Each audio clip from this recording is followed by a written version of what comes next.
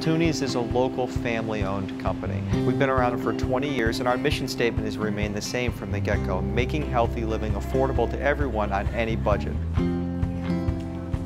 When you walk into Tunies, you're going to find a huge selection of over 30,000 different products, all free of any types of artificial ingredients or preservatives. We don't believe that it should cost an arm and a leg to feed your family healthy products, so we price all of our groceries in the store wholesale and all of our supplements anywhere from 20 to 40% less than retail. We've got the most experienced staff.